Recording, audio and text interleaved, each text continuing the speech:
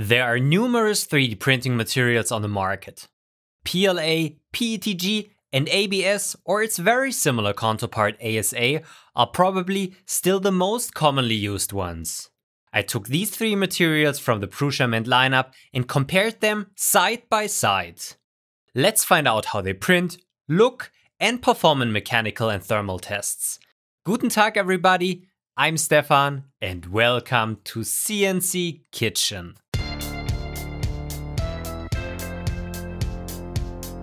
Even though you can nowadays get almost any thermoplastic as a 3D printing filament, PLA, PETG and ABS are still the most common ones used. PLA is the most printed material, due to being very easy to print without any significant smell, but with the downside of being a little bit brittle and thermally not very resistant. ABS is slowly replaced by a very similar material which is ASA that performs almost the same, but with the added benefit of being UV resistant, having less warping tendency and lower odor. PETG has been on the uprise since a couple of years and is praised for having the ease of printing of PLA, but being less brittle and thermally more resistant. But how do those materials really perform in a side-by-side -side comparison and is there a best material? I gotta say at this point that almost every material from every manufacturer will behave differently because even though it says PLA, PETG or ASA on the box, there isn't just one PLA, one PETG or one ASA. Depending on the manufacturer, the raw material, compositions and additives deviate. That will influence printability as well as performance and this is also where there are $10 PLAs as well as $50 PLAs on the market. Also, the printer, printing settings and environment change properties. I can't cover everything, but I chose Prusa's own material lineup for a reason, because once, they cover all of those materials, are all really decently priced, and due to the amount of QA they perform, shouldn't scatter that much from batch to batch or even roll to roll. They even check material color to avoid having different use when doing a project where you need more than one roll. Since Prusa also provides their whole own ecosystem with their original Prusa printers, Prusa Slicer and the Prusament, it doesn't require me to tune in each material on my own because they already did a pretty good job in that regard. And just to be clear, this material works just as well on any other printer that also uses 1.75mm filament. So what I've done is that I printed quality test parts and real test samples for all three types of Prusament and we'll be taking a look at them side by side to see how they perform in each of these categories.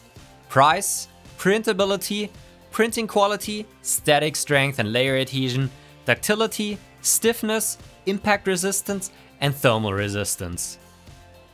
What materials are you usually using for your projects and why? Let me know down in the comments.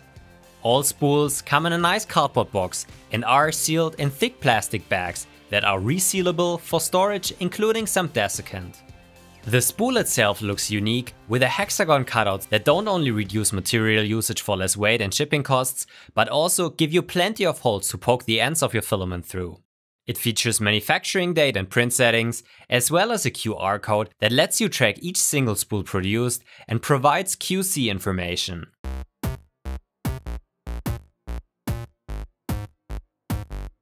The only issue I had was with these slots in the center hole that are probably used for indexing during production, but which caught on a cheap spool holder that I use on the top of my printing enclosure and that resulted in printing artifacts.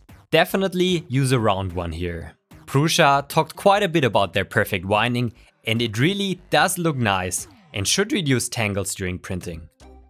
A kilo of Prusament PLA sells for 25 euros, PETG and ASA sell for 30 euros, though the ASA spool only contains 850 grams.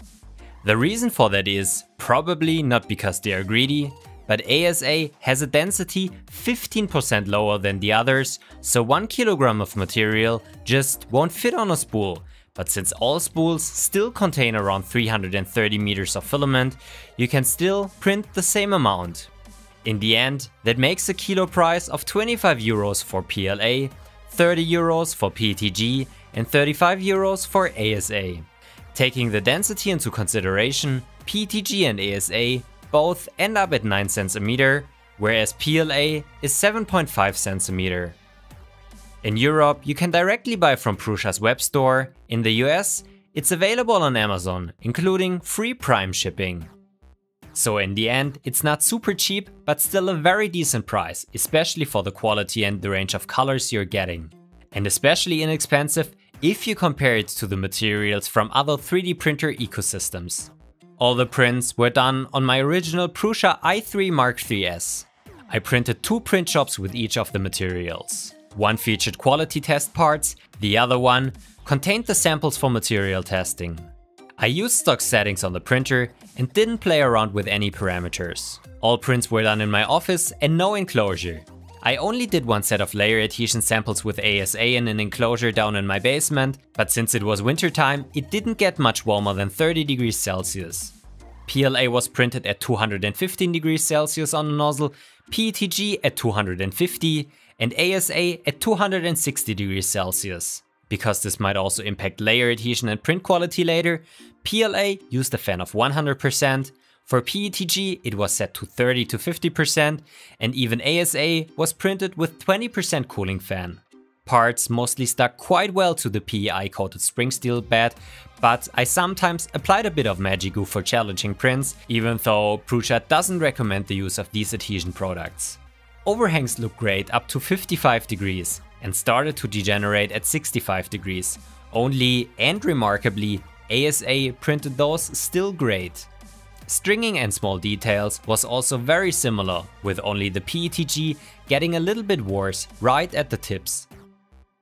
PLA performed the best at the bridging test, PETG a little worse, and this was the only time that ASA came last. All 3D Benchys looked really good. The army green PLA and the jet black PETG had a shiny finish, the orange ASA, which color I actually adore, was matte. The only thing I was able to see was that the PETG was a little stringy, which is common for that material, and the ASA part had a small step on the height of the floor of the 3D Benchy, which is a good indication that it contracts more during cooling than the others. Due to the usage of cooling, even the chimney on the ASA part looked great, which is often a challenge with this material group. All in all that means, if you have a good material to start with and tune it properly, PLA, PETG and ASA can produce gorgeous prints. Next, let's continue with the interesting part, and this is the mechanical tests. Since this shouldn't get crazy technical, I compared the static strength of the materials, not with standardized dogbone test samples, but printed a couple of my test hooks where we can analyze the material strength of a lying part and the layer adhesion with a hook printed vertically. All parts were printed with the same wall and infill settings. I mounted the parts, one after the other, in my DIY universal test machine and loaded them at a constant speed to remove the human factor. Let's start with the horizontal hooks. The PLA part failed quite brutally at 73 kilograms of load. There was some yielding, but when it went, it was quite suddenly. Next came the ASA part with 57 kilograms of maximum force. It failed rather similarly, with a bit more yielding, but then cracked instantaneously. The PETG part was the weakest with 55 kilograms of failure load. In contrast to the others, and this is quite an advantage of PETG, it never snapped through and just stretched and stretched, which makes parts out of this material a bit more robust. In order to find out how good the layers bond together, I have tested the same hook with similar wall thickness and infill, only printed standing. As expected, the vertical parts failed earlier than the horizontal ones. The average failure load of the PLA hooks was 40 kilograms, which is 55% of the ones printed lying. Quite a knockdown, but totally in the expected range. Next came the PETG hooks that failed at around 25 kilograms of load, which is 46% of the horizontal ones. Again, still in the expected range, but you can already see how much stronger PLA parts can be. Next came the ASA parts, that snapped on average at 17 kilograms, which is only 29% of the reference load. ASA similar to ABS wants to be printed at best in a heated chamber without cooling, otherwise layer adhesion can suffer. So there is a trade-off between nice looking parts and well performing parts. I at least tried what difference it makes if the material is printed in an enclosure. Due to the outside temperatures, I didn't get it to warm up to more than around 30 degrees Celsius and might be a good idea for another investigation. Still, those hooks were able to bear 20 kilograms of load, which is 20% more than the parts without the chamber, so definitely think about elevated chamber temperatures when printing ASA or similar. Oh, and by the way, if you enjoy my investigation, then please don't forget to leave a like, subscribe to the channel, and make sure to select the bell. Next, let's take a look at the stiffness of the materials, because this might sometimes be a factor you're looking for. Also, don't mix up strength and stiffness of a material. Strength tells you how much stress a material can take before failing. Stiffness is the resistance against deformation. The force plots of the hooks already give us an indication which material is stiffer due to the initial slope of the curve. A stiff material has a steeper slope because at the same level of deformation, it resists with more reaction force. PLA seems to be the stiffest, ASA is in the middle, and PETG is the least stiff. In order to get a numeric value of the stiffness, I performed a 3-point bending test with all materials, where I loaded a fully dense bar with increasing weights and recorded the deformation. Using the dimensions of the bar, the recorded deformations, and the applied weight, I can now calculate the bending modulus of the material. As expected, PLA is really the stiffest, with a bending modulus of 3300 megapascals.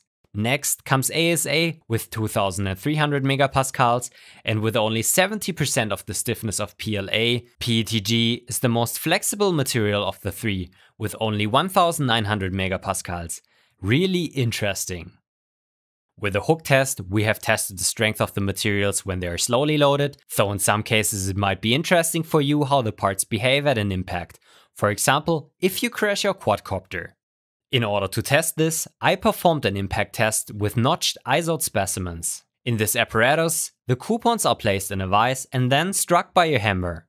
The impact will use some of the kinetic energy of the hammer, so it won't be able anymore to swing back to the same height as it started. This can be measured with the attached scale. PLA absorbed on average 8% of the hammer's energy, which results in an impact strength of 5 kilojoules per square meter. PETG only was a little bit better and absorbed on average 14% of the kinetic energy, resulting in an impact strength of 8.6 kilojoules per square meter. This is interesting and might be counterintuitive for some, because it behaved so ductile for the static hook test. This just shows the strain rate dependent behavior of the material, so the different behavior of properties at different loading speeds.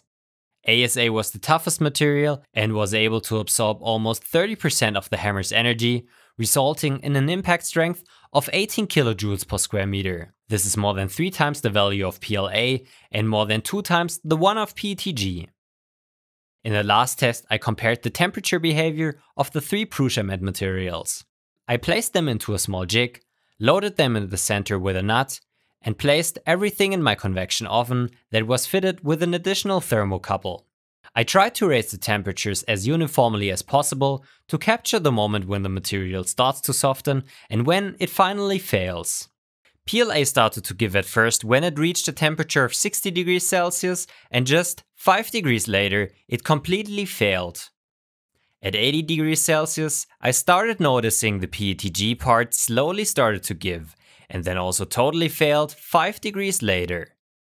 ASA was the most resistant and only started to soften at 110 degrees Celsius until it wasn't able to handle the weight anymore at 120 degrees Celsius. So in summary, all of the Prusa filaments printed really nicely, even ASA without an enclosure. Static strength was the highest for PLA, but it behaved way more brittle than PETG for example. Layer adhesion was around 50% below the reference strength for PLA and PETG, only ASA was quite a bit weaker in that regard, though printing with an enclosure or maybe less fan might help.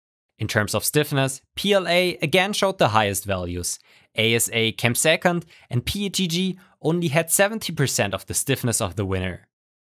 Impact resistance was the lowest for PLA, Next came PETG, and ASA was by far the most tough material.